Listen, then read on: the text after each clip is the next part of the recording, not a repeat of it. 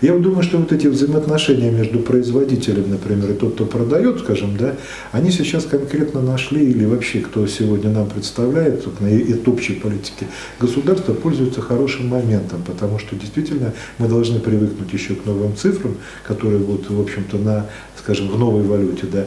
Но самое интересное, что меня поразило, на некоторые, значит, э, сегодня э, или несколько месяцев назад уже высказаны некоторые идеи, которые вот давайте мы обратимся к совести, в общем-то, да, предпринимателей. Читали, наверное, об этом, да, что вот мы должны обратиться к совести предпринимателей, тех, кто нам продает какие-то вещи.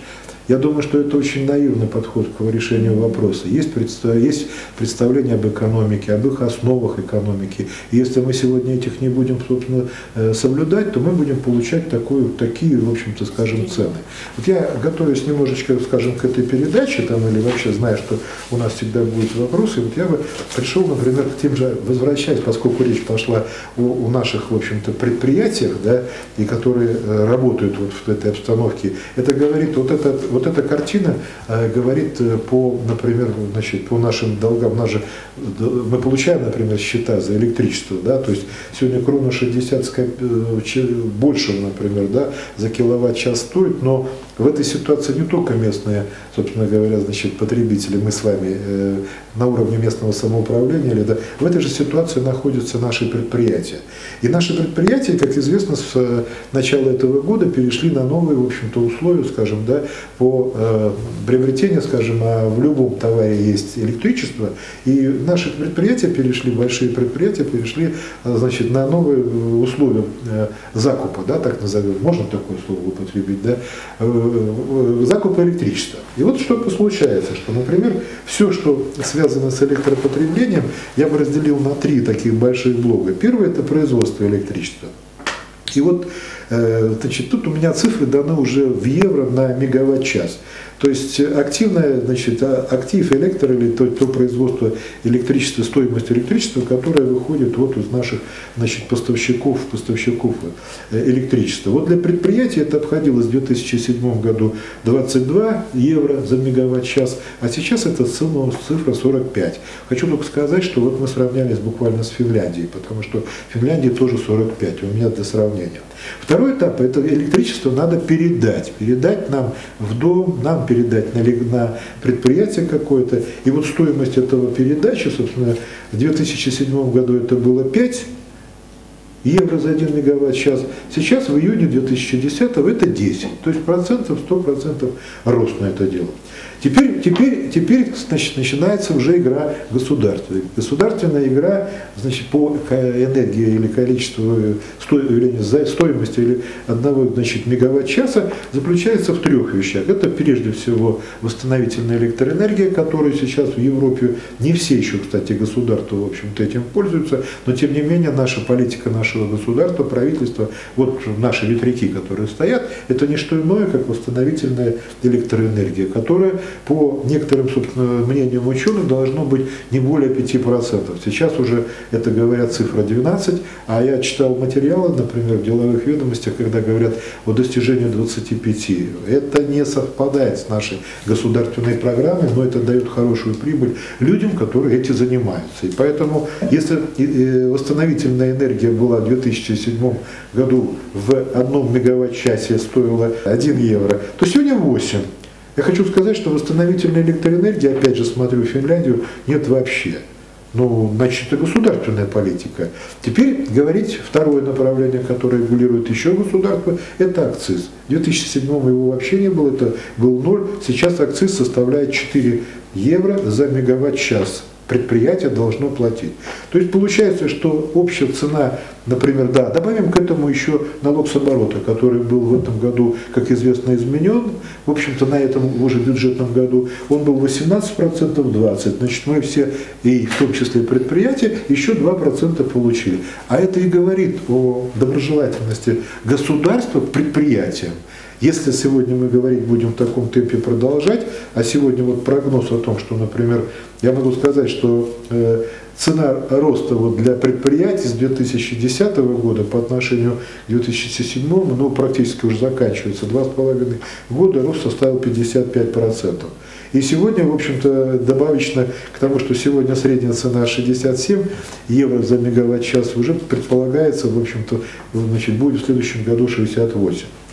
Я бы хотел закончить еще, поскольку тема идет значит, разговор на уровне нашего с вами, в общем-то, скажем так, Э, скажем, нашего постоянной постоянной жизни, то в 2013 году вы знаете, что и электричество, которое не только для крупных предприятий, а электричество, которое будут покупать и бытовые потребители, мы с вами должны войти в эту зону.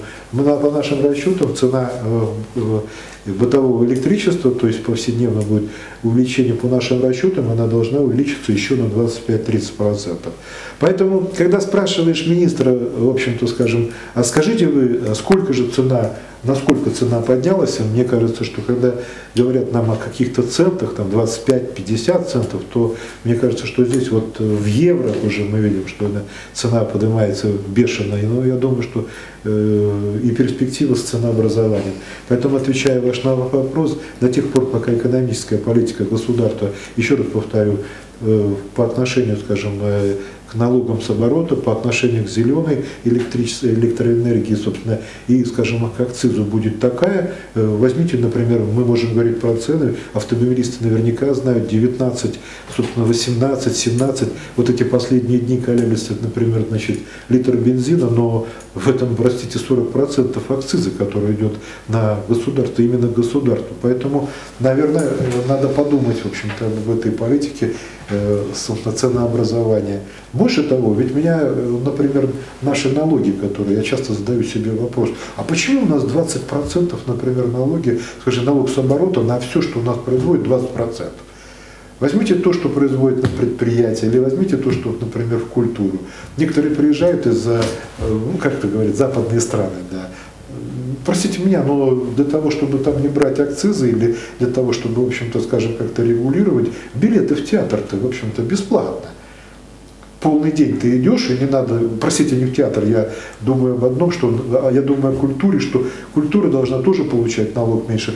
Простите, в музее это, билет это бесплатно.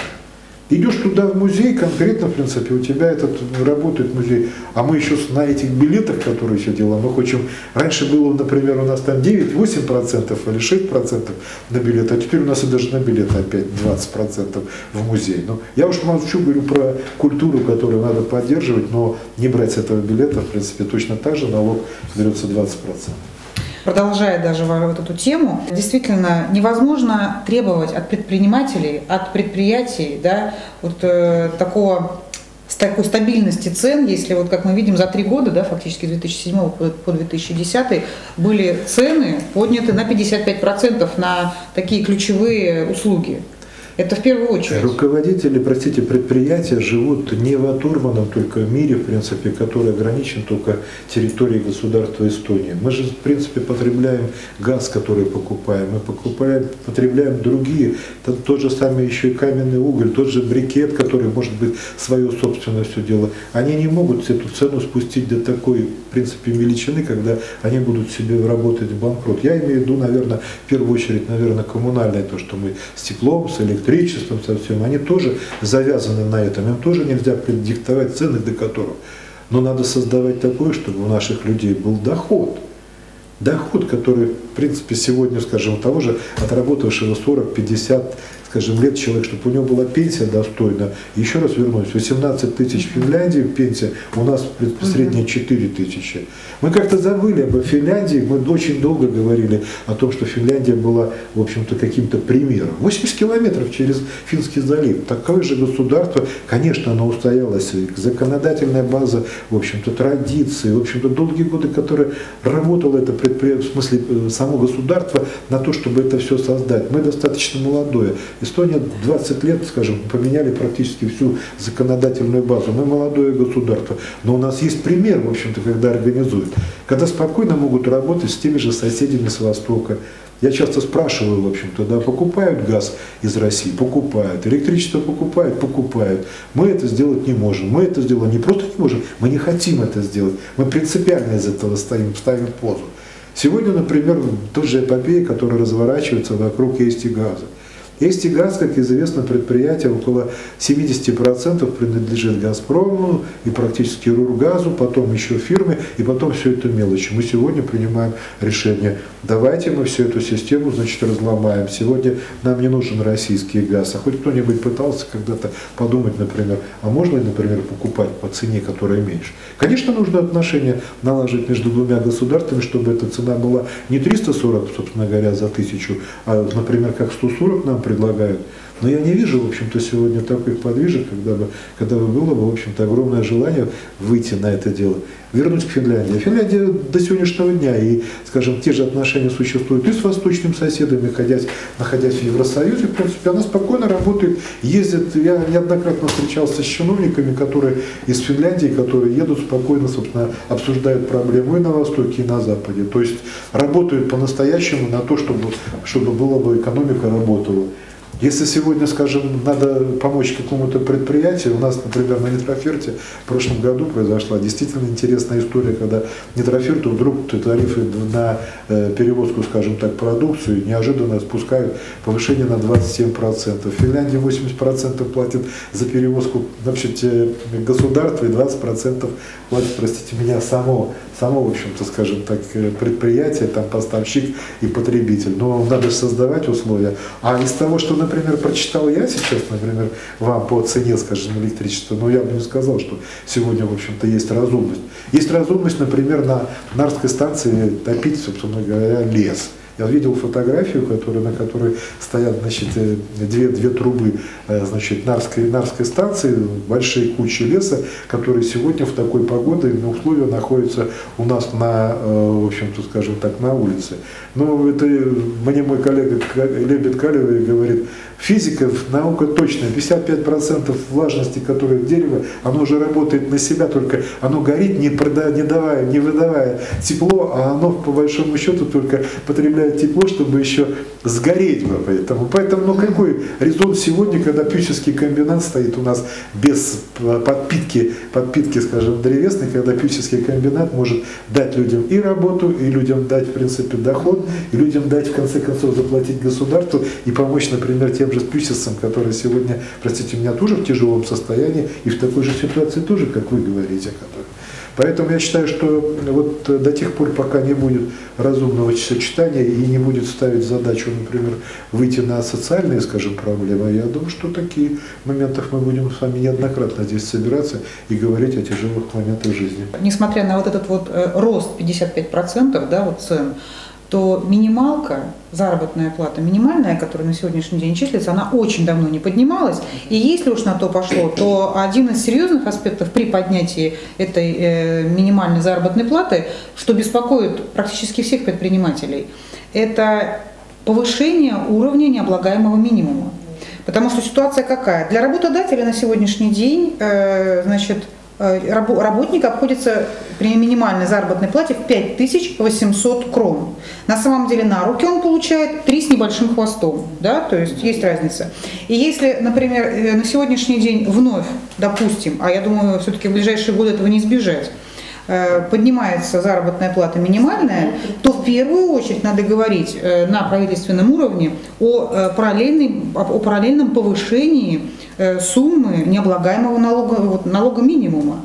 А, а последние два раза было как? Сумма поднималась, а миним, минимальный этот минимум необлагаемый, он оставался. И получается, что сумма, уходящая в налоги, она уходила, а человек получал там совсем разница там, на 100 или на 120 да, крон меньше. Вот, пожалуйста, следующий вопрос.